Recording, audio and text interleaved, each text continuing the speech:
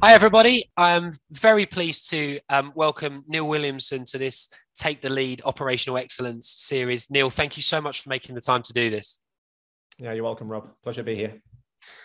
So, Neil is currently one of the top dogs at Popeyes Chicken, which you've probably already heard about. There's a huge buzz around the brand, and I'm sure Neil will tell everybody all about it. We originally actually worked together when you were a prior um, uh, a prior famous operator, Neil. But if you don't mind, I'd like to start by just going all the way back to the very beginning and saying when you review all of the companies that you've worked for, and you can choose to name them or not, who would you say was the most operationally excellent outfit that you were ever a part of? Okay, uh, start with a tough question, eh? Um, uh, yeah, I mean, listen, I will start by saying that it was never my intention to get into QSR or operations. Uh, for someone that was studying and wanted to fly airplanes for a living, um, it was a, a university funding uh, arrangement between myself and parents. You know, get out in the big bad world and, and find yourself a job, Neil.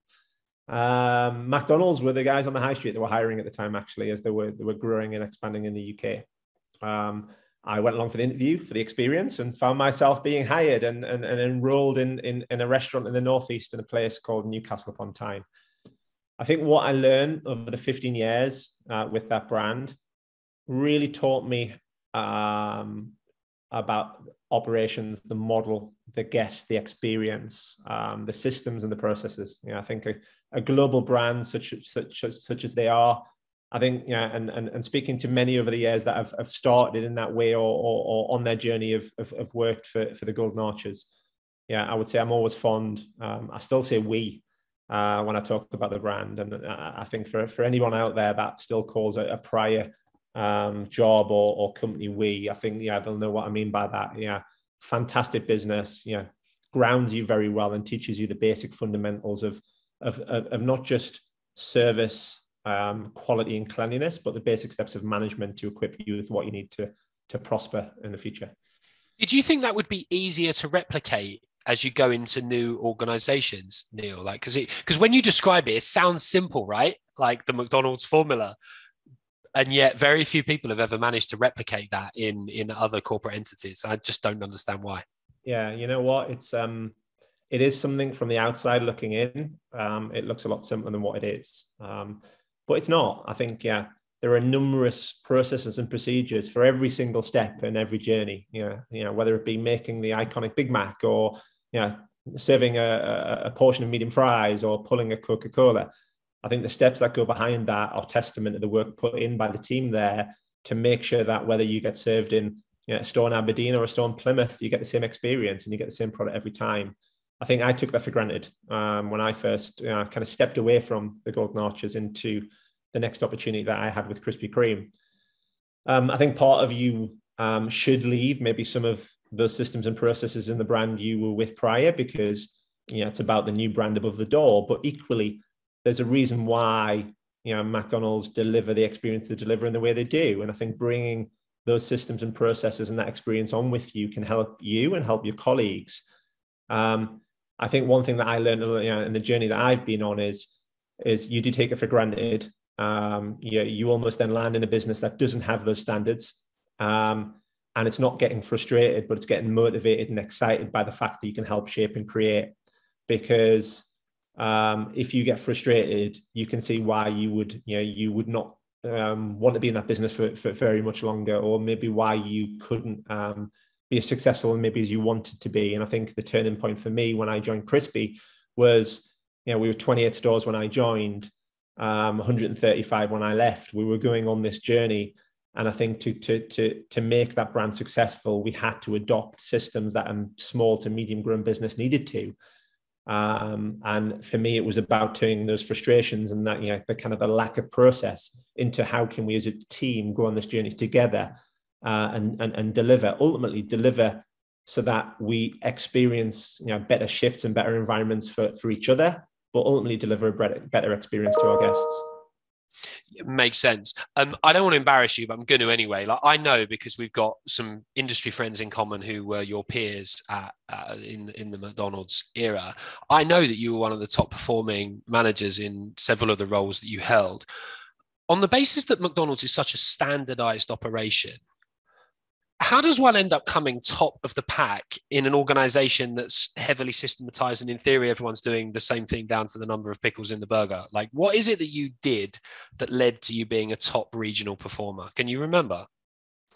Um, you know what for me and and i think we we we all learn on the journey uh, and i think biggest part of learning is is making those mistakes and and and not necessarily coming top of the tree. I think yeah, we all strive to want to be winners, don't we? You know, we have that program, especially in the industry, in in the, in the food industry. We want to do well. We want to be rewarded for doing well. We want our colleagues and our peers to do well. But it's how we pick ourselves up from those times, maybe where we don't deliver the result or we don't achieve where we wanted to be. It's how we pick ourselves up and analyze to do better next time. Um, I think for me, the, the, the golden nugget, if I could if I could call it that, is is is is, is communication. Uh, pardon the pun; it wasn't intended. Um, but when I was you know, fortunate enough to be coming through the ranks from you know joining as a staff member or you know a, a burger flipper, if you want to call that, um, I would often find myself being pulled to one side by a manager, being told off for doing something that I should have done, yet I didn't get any direction on what it was they wanted me to achieve. So, so the message that was coming down about actually what they wanted from me, from, from me and from my colleagues wasn't clear.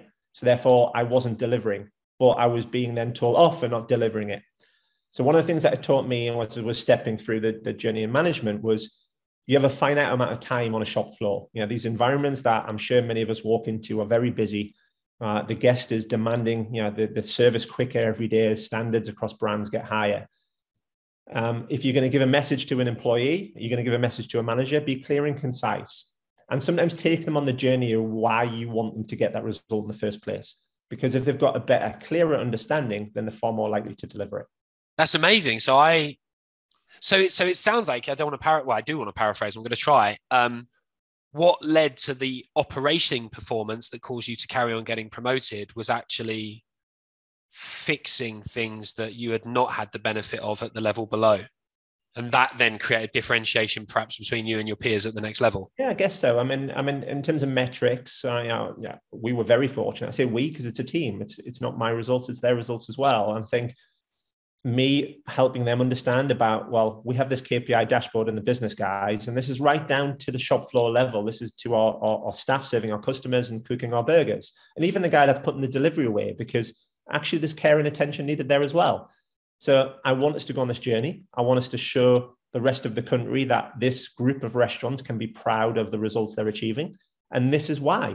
And i think when you help break it down and explain it in that way you get everybody on board and together they march forward in their own respective positions. They know what they'll contribute, but equally we go forward together as a team and we make sure along the way we celebrate the successes, all the way up to if we get first position. I mean, in in in in, in McDonald's, that was afforded to, to, to our team. We, we were number one out of I think at the time 72 consultant groups um, it wasn't about being in the pole position. It was about all of us being proud of knowing we're delivering a great experience for each other and our guests every day. That's amazing. Um, all right, I'm I'm going to be a bit naughty, and um, because people talk about values and culture and you're very strong when you talk about cultures and cultures and values but i feel like it's it's like love right you only sort of know it once you've experienced it and so there'll be a lot of people watching this that might have never had the benefit of working in a really really culturally strong organization right so sometimes when you talk about culture in the affirmative in the positive those that have never experienced it, you sort of lose them. So I really like to talk about anti values because anti values, in my opinion, are quite often just a mirror image of what your values are, even if you don't understand them yourself. So, from your personal perspective, I don't expect you to talk on behalf of Popeyes, although you're welcome to if you want to. What are your anti values? What are the sort of behaviors and characteristics that would see someone evicted from a Neil Williamson operation? Hmm, interesting question. Um, I think you have to care. I, I think um, you know that that that level of care that you have, whether you're on us, or sorry, whether you're with us for a short amount of time on a journey, and and don't get me wrong, I mean, you know, the, the, this industry is not for everybody. Yeah, it might serve time and purpose for somebody, but you know, when they're studying for a degree or a master's, or they need some part-time work, I think the benefit of of of, of this industry is we have um, availability to to suit all needs. But I think when you're with us, you're with us, you're invested. Um, and I think that's what that I care passionately about. And I think that's how, know, to rub Neil up the wrong way, I guess, if you could put it in, in, in that sense. Yeah. We will give you what you need from us. You know, we will hire you in the conditions that you ask from us. But when you're with us, give us the time and the energy that you've committed to give us. And I think, know, if you do that, then the business will look after you. They will see you right. Um, whether you're here for a short amount of time and you want to come back in in, in, in term time or non-term time for, for that matter. Um, or if you want to journey with us. And actually, it's interesting. You know, we, we talk about journey, for example, and I guess some people don't realize they want a journey at the time that, that, that they're on this journey. Um, I didn't recognize that when I joined McDonald's that I was embarking on a journey that would lead me to being in in in in, in retail and hospitality for 30 years.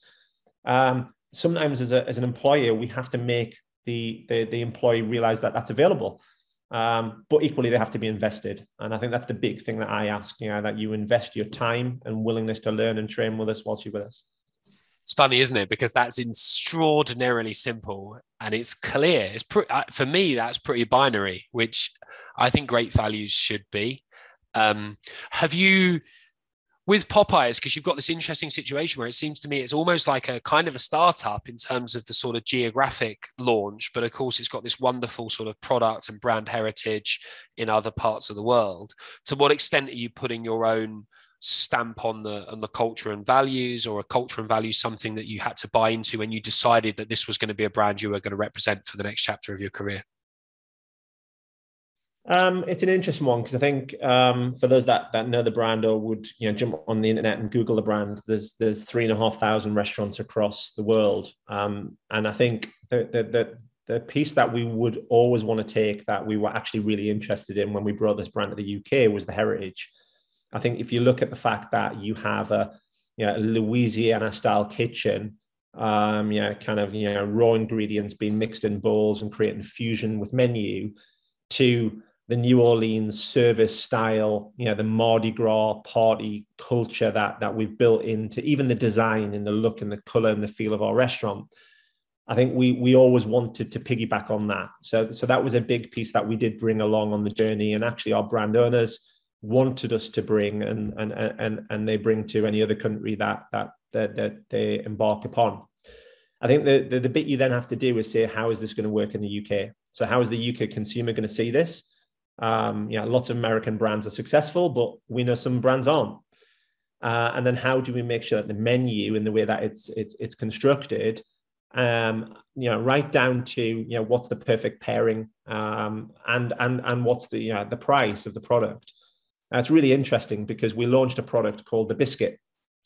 Um, so for, for, for someone from the UK, you know, certainly for myself, it would be, you know, you could refer to it as a, as a UK version of a scone or a scone.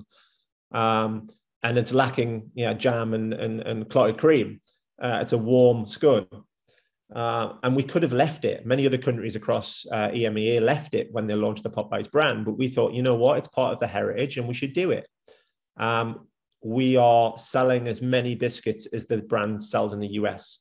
No uh, way. It's been incredible. And actually, it's probably the most frequent add on and frequent requested product. So, so it's been phenomenal, but it was one of those that we tabled, and you can imagine you could waste hours upon hours in a room discussing whether you should or you shouldn't.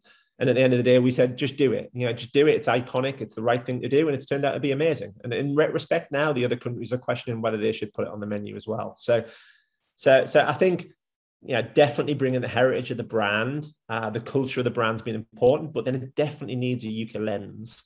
Um, you know, we have a UK management team that all come from some very successful businesses, and I think, yeah, culture is an important one. You know, you t- you asked the question on culture, and I think we haven't landed on a on a on a, a refined, designed set of statements that we would propose would be our culture in the business. We've actually said there are um, a, couple of items that we care passionately about. But actually, as a team of people that's building a brand, let's decide as we go on the journey what our culture should be and let's shape it. Because ultimately, in a business that delivers it every day, that should be the culture, not a statement that's on a wall somewhere that gets dusted off every time you have a meeting that you should talk about. And I think that's that's hopefully testament to some of the early success we've had in the UK since we've launched. Totally, and it, and it comes down to the quality of the people that you hire, then, doesn't it? Because you are what you do, and the people that you hire then inform the culture. And then if you get enough of the right people on the bus, you can then document what those collective values are. There are a lot of um, there's a huge amount of churn in the sector at the moment. We all know this. Like people are moving roles, often for very exciting new opportunities. So I'm not saying it's necessarily bad. It is if you're a hiring manager or your KPI is to retain people. If you were advising somebody moving into a new role, whether you're an operations leader or maybe somebody rolling into an operations leader, um, what would you say would be or should be your first priorities gen- generally as a new occupant of an operating role in a new business? Um, I think you've got to feel really comfortable with the business. I think, yeah, for, for me, and I'll always say this to a candidate that I will be interviewing. Um, and, and, and actually, I think that the, the, the term interview or, or, an interview across a table with someone with a flip chart is, is quite outdated. You know, I'm quite surprised that the industry's not moved on uh, in, in, in that field. Um, for me, it's getting them, you know, amongst it, getting them, you know, in the kitchen, on the counter, um, you know, it's it's them investing a little bit of time in us and us in, in, in them before they even join a brand. Um, because I think you're right. I think that the, the, turnover in the industry, you know, whether it be through Brexit or through on the back of COVID, is it, it's at an all-time high. Um, and I think people are job hopping because there's opportunity available, but equally they don't really know where they want to land. So one of the things that we're doing at Popeyes is we we're using um, discovery days or discovery shifts for individuals that want to kind of test before the buy, almost like the test drive if you're going to go, go and buy a car or yeah, you know, if you were going to go and buy a house, you, you would invest in, in, in time and commitment. Um, so we're asking people to give us as, as little or as much time as they'd like on the shop floor, talking to colleagues, asking the real questions. Um, if there's something that they want to get more involved in than, than another section, we, will spend time with them on it. Um, and then it's almost an investment at the end on both parts. So it's you know let's not leave any elephants you know, in the pocket. Let's put them on the table and have those conversations from the off about you know what it is you want out of us. Um, what can we do for you, and what can you do for us? Um, as I said earlier on, I think maybe sometimes they don't know what they want. Maybe they discover that throughout their their, their, their time. But I think some people come in and they want to be progressive, they want to prosper, but some people want to use it as a stopgap because they you know, they need something to pay the bills whilst they're studying. And I think having that upfront conversation earlier rather than later down the line will really help a business and will help the candidate. Um, so I think that, that that that's definitely a big thing. And I think recognizing in today's world that um, you can't just assume that somebody wants uh, you know full time hours and they want to work 45 hours a week and they want to work yeah uh, evenings and weekends. Yeah, I think times have changed. I think yeah, people's expectations have changed. Um, I think you know, as a business, we've really tried to hire more part-time staff than we've hired full-time staff. Part-time that can flex, but we can give the shifts to suit the, the, the individual rather than almost demand what the business needs. Um, you know, we know the business needs to be manned across the key hours, but actually we're trying to say, well, what does the candidate need and how many candidates do we need to fit those shifts rather than the other way around? Makes a ton of sense. Um, while you're on the theme of change, how would you say that your leadership style has evolved over the years, Neil? Um, quite hugely, actually. I think. Um, I mean, I look at the the the the, the Neil of yeah, kind of coming up through the ranks, you know, being a shift manager, assistant manager, and general manager, and I look at maybe some of the ways I I I, I commanded my team and and and communicated, and and I sometimes cringe. I'll be honest at, at maybe how I got the result I got. Um, but you know what? I've always done it with the interest of the employee and the guest in mind. I guess yeah, that that's the thing that keeps me feeling proud.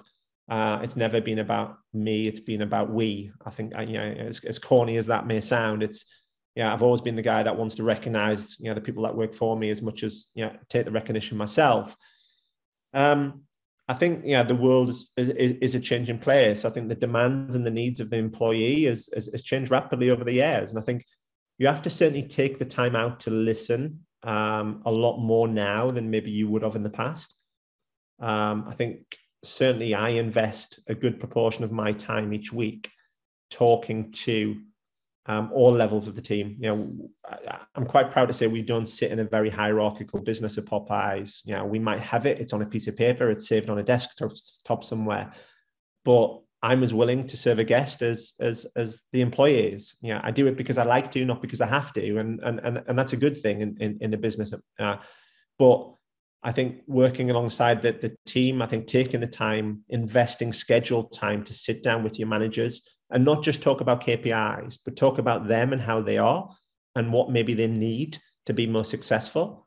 I think is more important in today's modern world than it probably ever was when I was kind of coming up through the ranks as a, as a junior manager in, in mid management.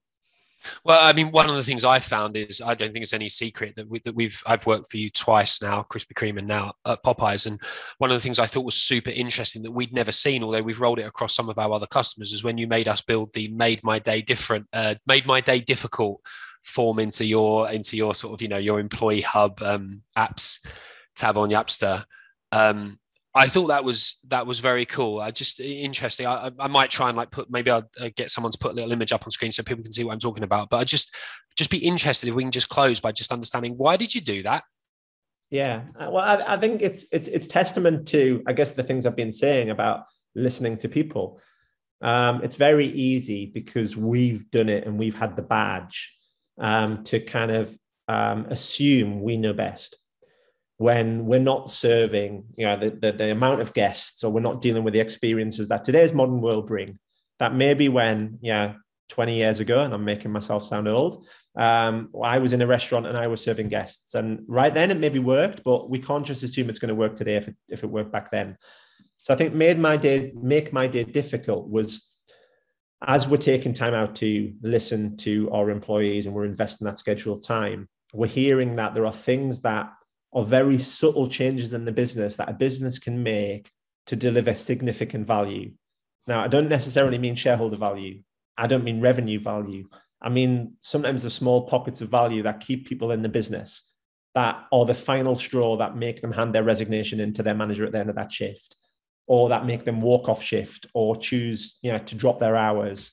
Or actually, if we get it right, they'll increase their hours. So make my day difficult is a, is a, is a form we have on the on the Yapster um, app. And if an employee at that specific moment in time, you know, we've all been in this world where if we could write down every great idea we had when we have it, then God, we, we, we, we would be amazing, wouldn't we? But we forget and we wish we'd wrote it down because half an hour later we forgot that we had that idea. so, so, so, make my day difficult is for them to use on their on their phone, on their app as soon as they have the the, the, the, the idea. And they give us their name if they want to, could be anonymous, but they tell us at, at, at that point in that day or at that event or, or in that process, something we could remove or slightly refine to make the job easy for them. And we get all sorts. I think that's the really exciting thing. Um, it's yeah, it's literally and yeah, the lettuce could be two centimeters bigger than it is now, and we would have to put one piece on Neil instead of putting two. And it's kind of like, we never thought of that. And as simple as that sounds, and as much as we want to kind of kick ourselves for, sometimes because you're dealing with such, you know, a lot of things at one time, you just go with things. And it's the employees that are doing it monotonous day after day that realize there are different steps you could take. Uh, and I think just piggybacking on that for a second, we also launched another thing recently, Rob, and it was a bright idea. So on the back of Make My Day Difficult, what is something that they could do um, which we could bring to um, our brand that we could launch. And actually, we took that a step further. So let's just say an employee has an idea for a product or a process. What we do is every month we look at them uh, across the leadership team and we pick a couple of the, the ideas and we invite the team into uh, to, to the support office and we get them to, to present why they think it's a great idea. And actually, we then ask for their involvement if we want to run with it um, so that they take that idea all the way to fruition and then then relaunch it in back into the restaurants.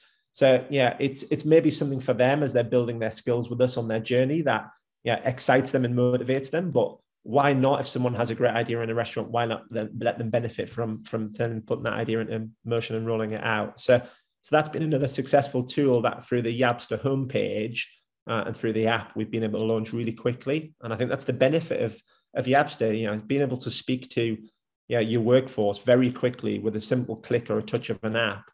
Um, when we have an infinite amount of time in this industry, I think Yapster gives us that power to, to be able to do that when we need to do it. That's very kind of you to say. Do you know what I love? And I appreciate you're a busy guy. You've grown your brand, so we have to go wrap up in a second. But what I love is you, you the way you've started with how your career started at McDonald's and that deference for process and consistency, and then we've ended with processes, but actually evolving processes and making processes fit for purpose. And I hope if anyone, if people could only take one thing away from this conversation with you, I hope it's that it's that they can be passionate about process and consistency, but open and authentic and flexible about making sure that those processes still work. And you're right, that comes down, I guess, to communication, whether it's done through an app or anything else. So thank you so much for being so generous, sharing, um, Neil. It's been awesome to speak to you, and I'm excited to see Popeyes, you know, in the UK and beyond, growing over the coming months and years.